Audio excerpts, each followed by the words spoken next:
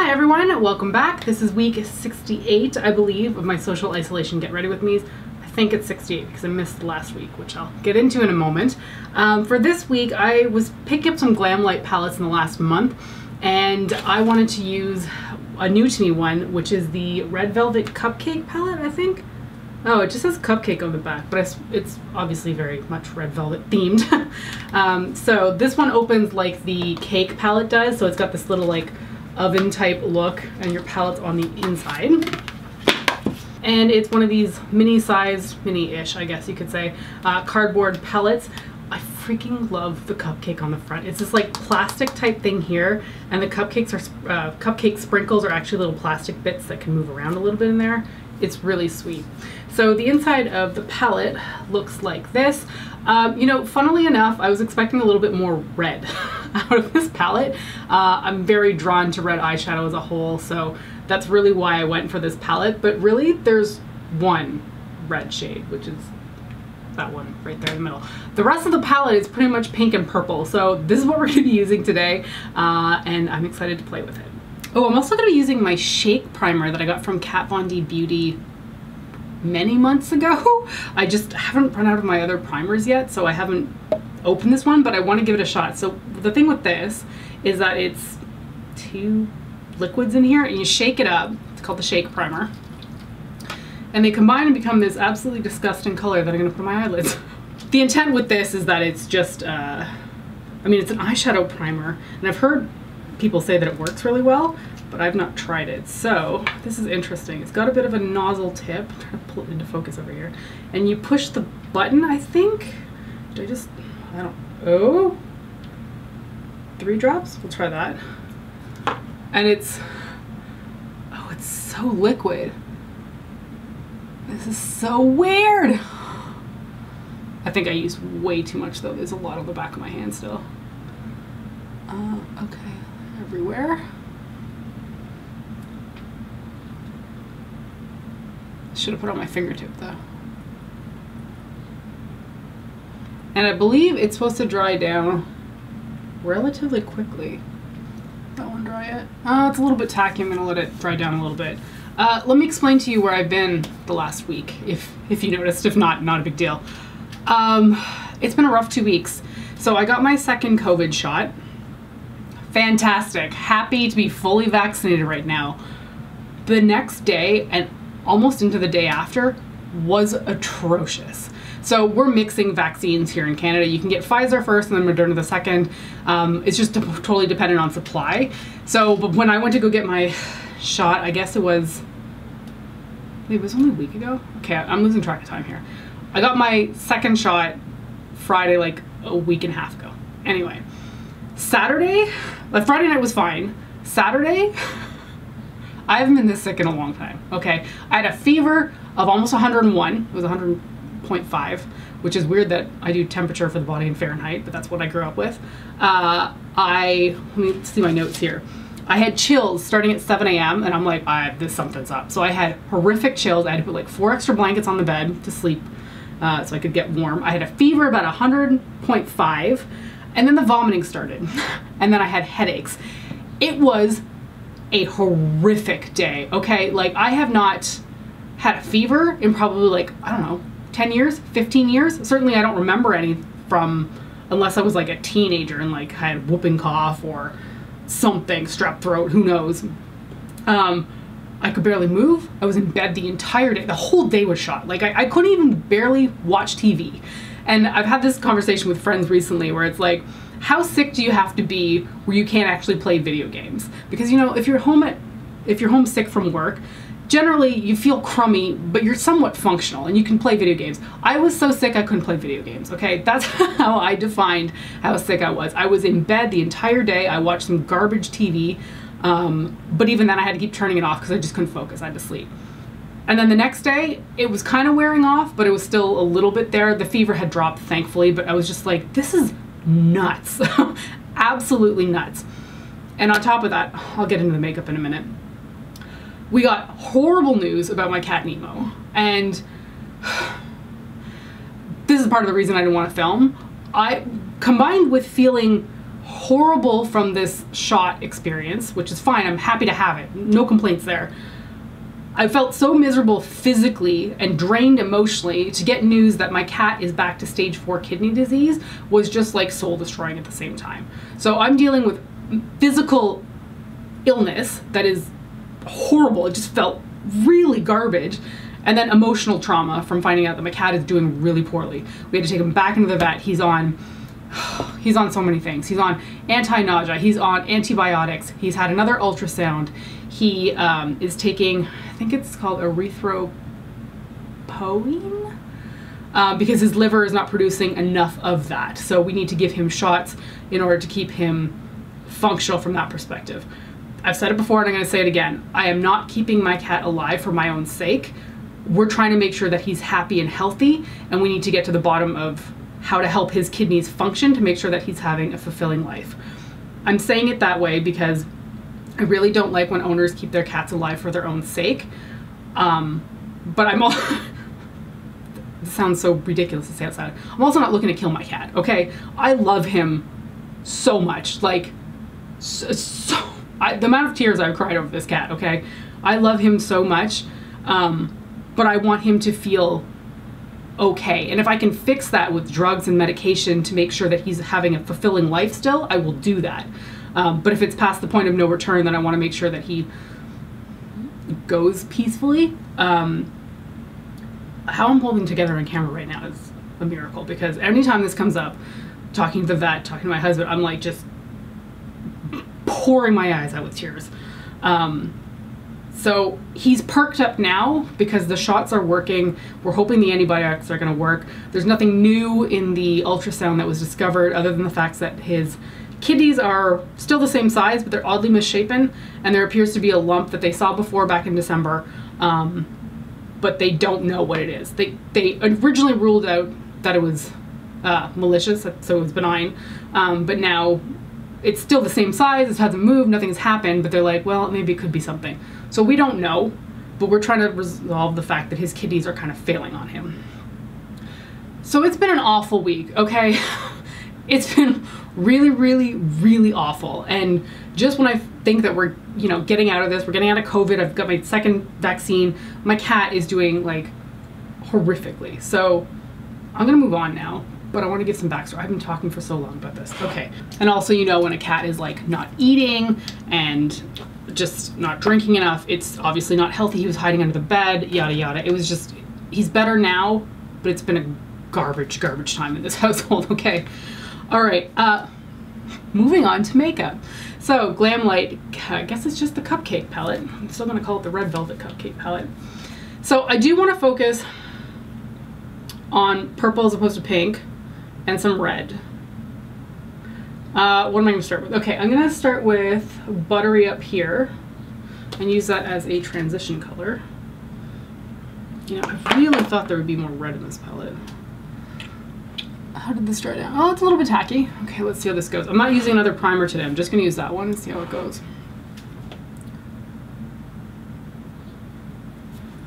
So yeah, the vet bills have also been through the roof, but honestly, I'll do anything to make sure that this cat is as healthy as he can be. So it's just been a little bit bracing, that's all. Although, honestly, it couldn't, to look on the silver lining side of things, it could not have happened during a better time, right? Where all at home, saving more money than normal. So I've definitely got more liquid cash, I guess you could say, because I'm not going out all the time. Actually, on that note, Ontario is starting to open up restrictions. I think they went I don't remember. I don't know all the phase names because we've gone back and forth on phase two, phase three, phase four, lockdown, blah, blah, blah, over the last year and a half that I don't know where we're at. But on June 30th, they opened up, I think it was patio dining, um, and a few other things. So we weren't in lockdown anymore. And there's more restrictions that are going to be lifted, I think, in coming weeks, dependent on how everything is sort of rolling out with the double vaccine. Um, the increase in doubly doubly vaccinated people. Um, so I'm I'm pretty happy in that respect. I am hopeful that things are going well, and that's mostly honestly derived from the fact that I have my second vaccine shot, so I feel good.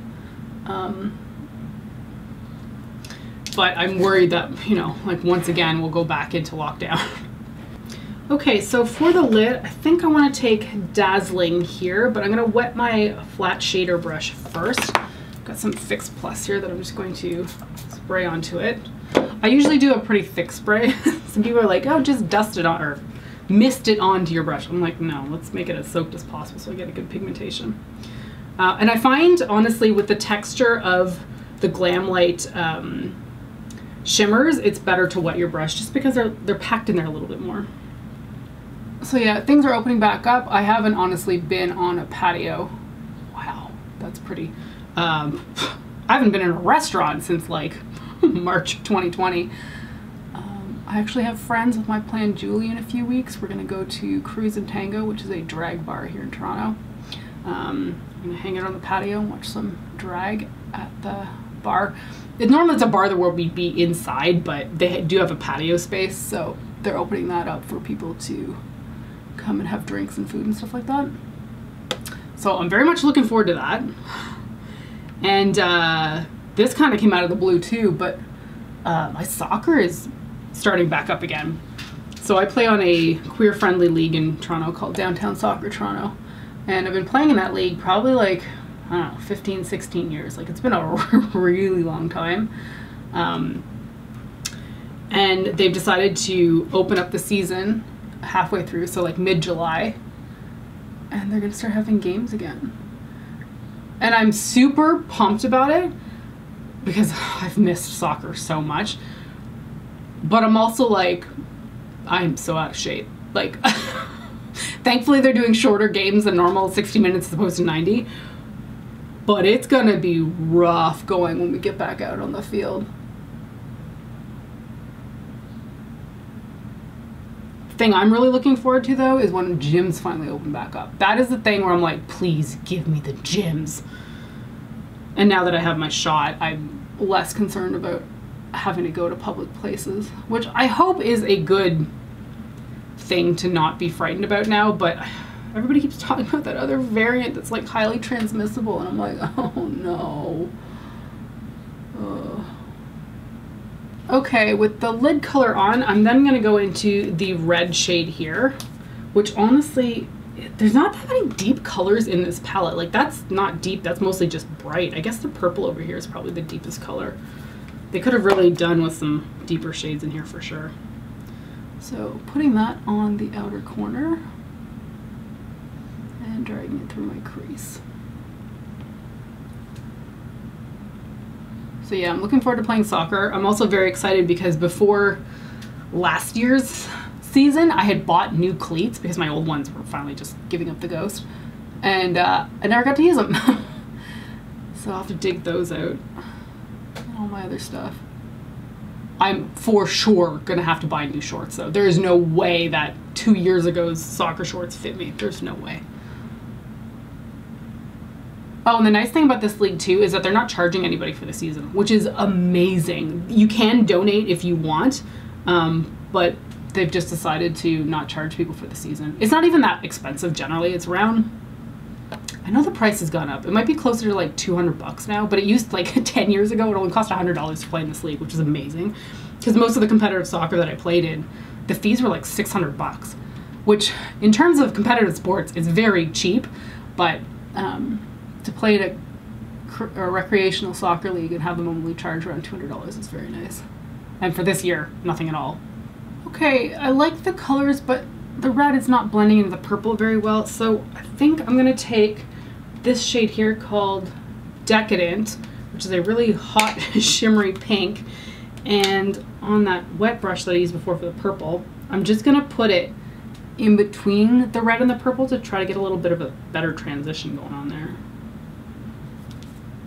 I hope this doesn't cause the matte shade to lift though.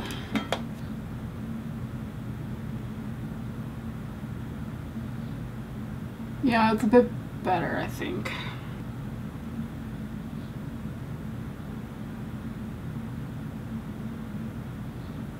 This shade on its own is really amazing. I stuck my finger in it earlier and I couldn't believe it. Look at that color. That's amazing.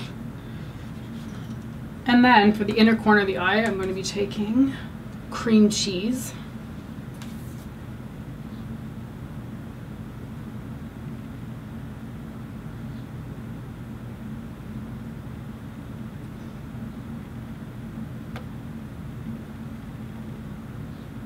So I use this one dry actually, and it's pretty pigmented still. Hmm, maybe I don't have to wet my brush after all. For the lower lash line, I think I'm going to play a little bit more with the purple. So uh, let's see. I think I'm going to take this Revlon Vinyl, So Fierce, so, so Fierce Vinyl Eyeliner in the shade Powerful Plum. Put that on my waterline first.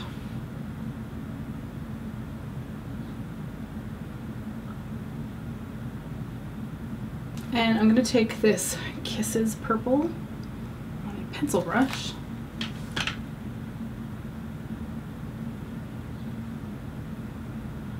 And then to blend out that purple, I'm going to take uh, Confection over here and just put that at the very edges of the shimmer.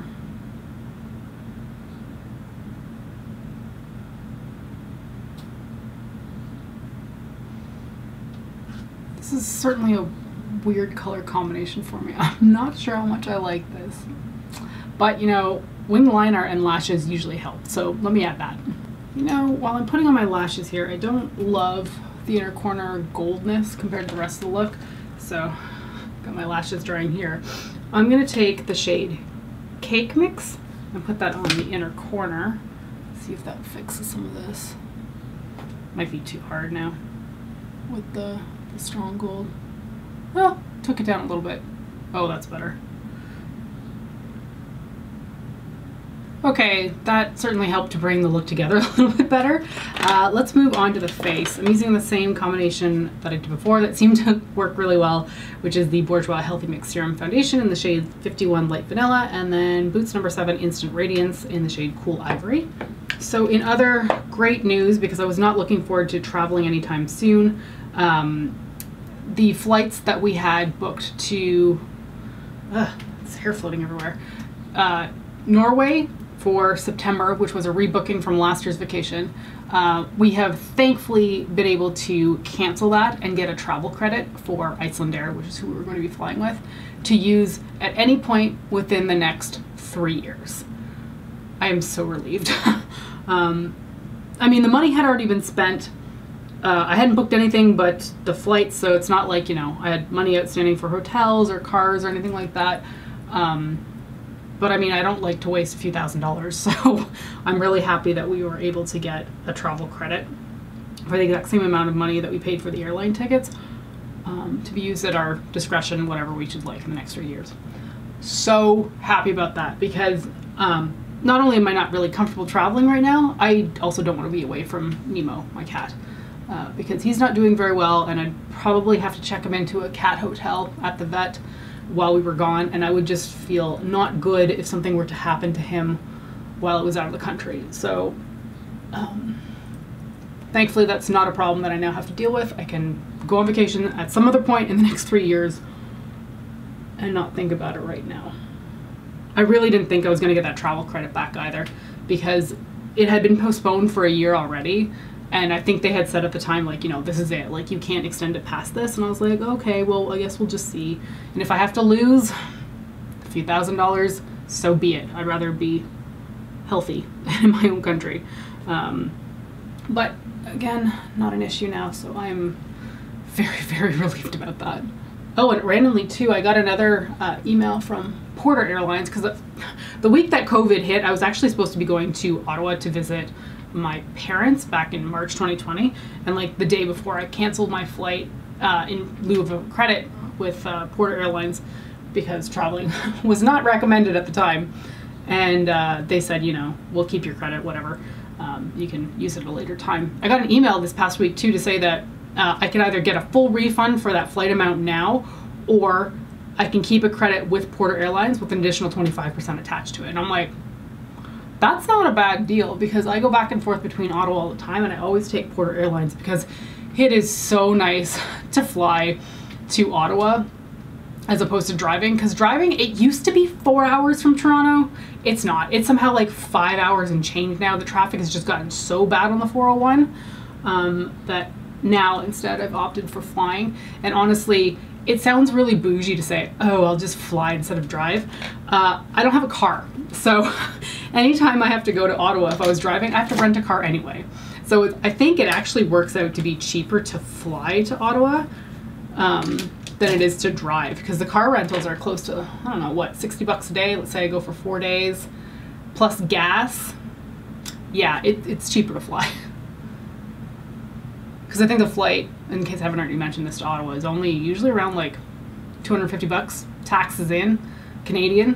Uh, sometimes I can think you can find it a little bit cheaper, but yeah, it's not it's not too expensive compared to renting a car. Plus the time savings. It's like a 30, 45 minute flight. Okay, for bronzer, I'm going to be using my Physicians Formula Butter Bronzer. This thing will never die. I'm so close to being done.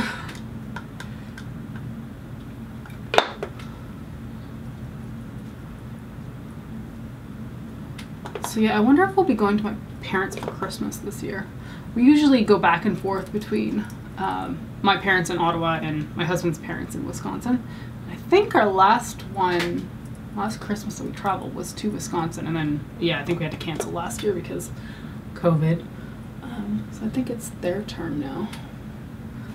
And for blush, I'm going to use one I haven't pulled out in a long time. It's the Elizabeth Mott Tints and Sass. I think I got this in an Ipsy bag quite a few years ago. Whatever happened to subscription boxes? I feel like no one talks about them anymore.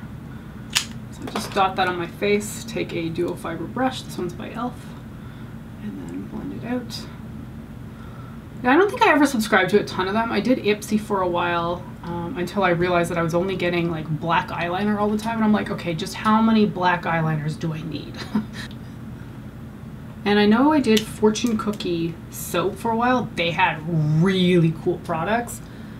Um, but over time, I just think I discontinued that because I just didn't need to spend the money on more and more product. But I never did like the FabFitFun boxes, although I know a lot of people love those. Those are probably the more enticing ones right now. Um, but I don't really need like an additional monthly bill lately. Okay, uh, blush is on for highlighter. I'm pretty sure I used this last uh, week, but I'm going to use it again anyway because it's really pretty and it fits the theme of this. It's the Kaleidos Mars Melter. Beautiful, beautiful shade. That never translates properly on camera. And that is the face done. I'm going to throw my brows on and I'll come back and we'll do the lips. Alright, on to the lips. I have two new to me ones by Revlon here. Um, they're kind of like a sheer formula, which is nice. So these are the new Revlon Super Lustrous Shine Formula. So I've got Cherries in the Snow, which I have in like a cream formula version of them. And then Love is On. I think Love is On is probably going to work a little bit better, but let's take a look. So Love is On is more red. Let's see what that looks like here. It's got a nice gloss sheen to it. and then Cherries in the Snow. Let's see. Hmm. Kind of want a combination between the two colors. Maybe the pink's actually going to work a little bit better, though. let's see. So this is Cherries in the Snow.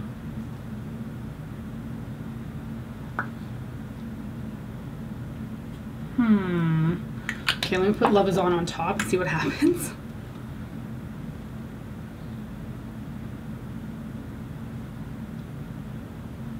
Yeah, I like the red better. Okay, let me clean this mess up. Try it again. So yeah, Love is On, the more red one. Oh, this is a nice formula. It's basically a gloss stick, to be honest. So I doubt the longevity is going to be very good because it is very slippery. So I put the Love is On shade on and then I'm taking uh, Cherries in the Snow and just adding a little bit of pink to the center. Because honestly, I think both colors actually really work well with this look uh, and I couldn't make up my mind. All right, so this is the finished look with the Glamlite Cupcake palette. I, I'm not sure how much I actually like the eyeshadow look. I think the color combination ended up being not quite what I was going for, um, which isn't to speak negatively of the shadows in here. I do actually quite like, Jeez, I Jesus dropped the whole thing. Uh, I do really like the shades in here, although I wish there was more red involved, um, just because it's really marketed as, you know, red velvet cupcakes. Um, but the shadows themselves are really nice. I do think there should be a darker shade in here than what they have available. This is all very like bright medium type colors. There definitely needs to be more dark shades overall um, because that red is fairly the camera just cut off on me, so I'm not really sure where that ended, but I was just saying that um, I do wish that this palette had a few more darker shades in here because I didn't really have anything to deepen up the outer corner. The red is more bright medium tone than it is actually deep, and a dark red would have been really nice, or a super dark purple, although this color is so pretty and I didn't get to play with that one today. Also, these lipsticks are really nice.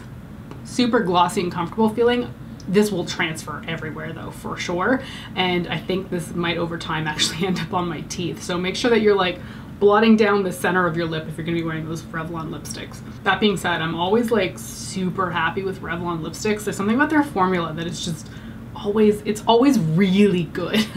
okay, I'm gonna leave it there for week 68. Thank you so much for joining me. Take care, stay safe, and I will see you next time. Bye.